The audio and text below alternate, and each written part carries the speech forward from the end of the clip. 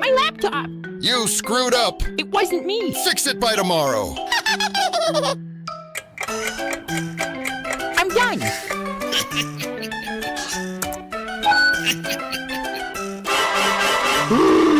You screwed up again? I can explain! Get out of my office.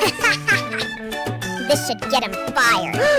I knew it was you. You're fired.